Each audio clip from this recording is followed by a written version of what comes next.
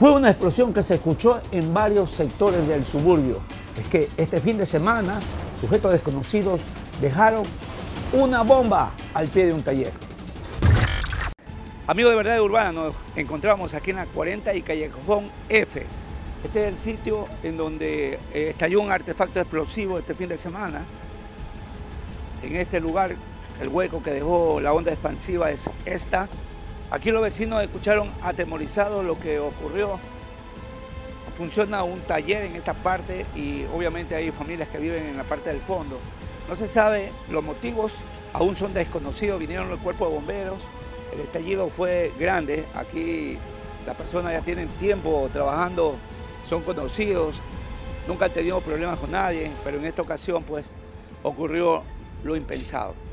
Los atacaron con una bomba, y se pregunta ahora el dueño del establecimiento por qué. ¿Por qué este atentado contra una familia que se encontraba descansando? La inseguridad en este país ya se ha visto que pagan Sansón y los que no son. Que ojalá algún día le pongan mano dura a la seguridad ciudadana, esto es, esta delincuencia y más nada, ¿qué puedo decir?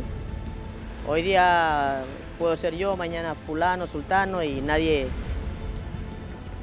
vivir en zozobra y, y en temor es lo único que queda.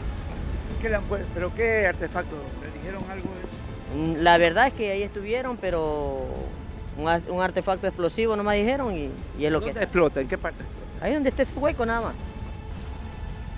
Sí, ahí en ese hueco, ahí, ahí en ese hueco. ¿A qué hora más o menos fue? A las diez y media de la noche. ¿Aquí trabaja usted? Sí, sí, yo trabajo aquí. ¿No sabe por qué han puesto aquí? Estamos en, en una contradicción que no sabemos quién y por qué. Si cuestión vacunas, va, mañana van a haber represalias, van a haber situaciones que están poniendo como en alerta, quizás como en muchos otros sectores de la ciudad. Ya ponen como en alerta para saber que si hay algún tipo de que el día de mañana querer dar a entender eh, a través de atemorizaciones eh, bueno, mañana venimos y, ya sabemos, sabe, saben lo que somos capaces de hacer, dirán estas personas, ¿no? Entonces, bueno. Yo no tiene problemas con nadie. No, yo soy aquí llevado con todo el mundo y estoy con todo el mundo y, nada. Son años que trabajo. Claro, yo tengo aquí cuarenta y pico de años. ¿Fue una casa abandonada? No, no, no, no, no. Es un taller, pero ahorita está cerrado y... ¿Va a poner la denuncia? Lógicamente, sí hay que poner la denuncia, pero también con la con el temor de que el día de mañana hayan represalias. Porque mañana pasado, de alguna u otra manera, tendrá alguien mi número telefónico, tendrá alguien y dirá, pila con lo que vayas a decir, con lo que tú vayas a manifestar o tal, tal cosa. Y si no, en este caso muchas veces lo que pagan los impuestos son las familias, son los lo, que vienen detrás de uno. O uno mismo, la integridad, ya que no les tiembla a veces el pulso para que uno se gane un tiro en la cabeza. O... Una pregunta, ¿escuchó el estruendo? Normal, pues si estoy aquí. ¿Usted vive aquí adentro? Sí, allá adentro. No sabemos con qué intención, pero son suposiciones nomás. Nada está, en, realidad nada está... Eh, nada está definido, no se sabe, hay mucha interrogación. Desde luego, así es la vaina. Pero bueno, seguir, hay que seguir, hay que hacer muchas cosas y, seguir adelante porque si uno no se queda estancado, ¿qué saco yo temorizándome quedando aquí sin hacer un peso? Si yo sé que mi familia depende de mí, mis hijos dependen de mí. Si hubiese salido alguno de, mis hijos en ese trayecto, salir por aquí y hubiese reventado esas cuestiones, ahorita estuviéramos hablando de otra ¿no? Quizás de la muerte de, de uno de los familiares de uno. Pero bueno, hay que dejarle las cosas en manos de Dios. Y después de Dios, pues en manos del hombre, pero un hombre que de verdad sí haga prevalecer su justicia, prevalecer el hecho de que nosotros podamos sentirnos mañana seguros de que esto no vuelva a pasar ni vuelva a ocurrir, no solamente aquí, sino en ninguno de los hogares de, de, ninguna de las personas que habitamos pues, este país, esta ciudad. Lastimosamente tenemos que estar al acecho de esas situaciones hasta que no se arregle. Que ahorita la, la situación está terrible, ahorita ya no hay, ni en su casa lo respetan a una hora. Usted estaba descansando en ese momento. Descansando, ya pues eran como las diez y media. ¿Y entonces? Lo que se excluyó fue la, expansión, el sonido de la bomba. Esa. ¿En ese momento salió usted a ver qué pasaba? En ese momento salimos todos a ver qué era lo que pasaba.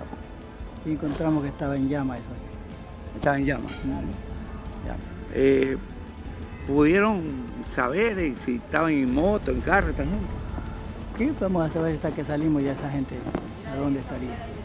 Los vecinos. Los vecinos usted sabe que la gente no habla por temor, porque cómo está la situación, ¿quién se va a comprometer? Nadie. ¿Alguna amenaza recibieron? ¿Alguna- Nada, nada, ni amenaza, ni llamada, ni nada. Esto está sorprendente.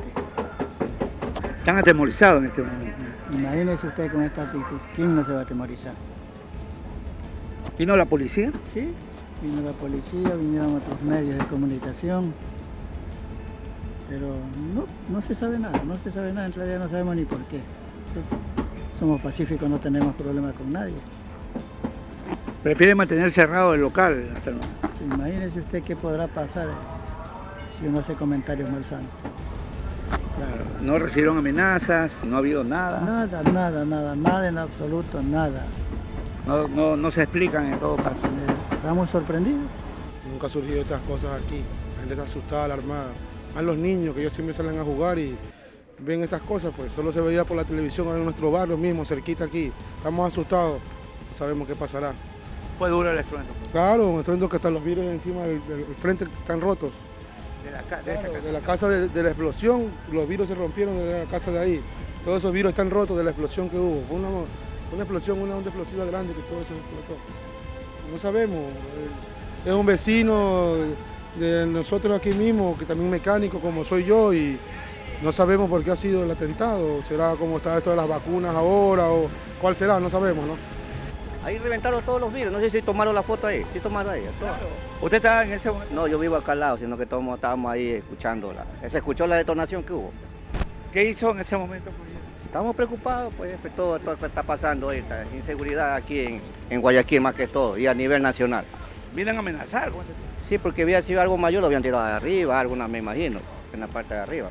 Una amenaza, me imagino, algo haber sido, claro. Porque sí, eso, eso, sí, todo eso, los vidrios volaron de la, de la ventana ahí del, del vecino.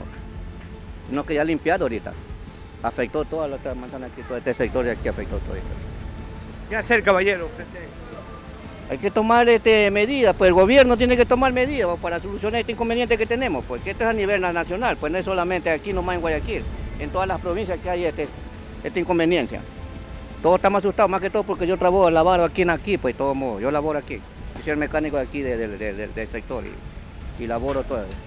Vecino aquí al frente que no, no, no había forma que por qué le hace esa situación, sin tener ninguna inconveniencia, no sé pues qué problema tendrá.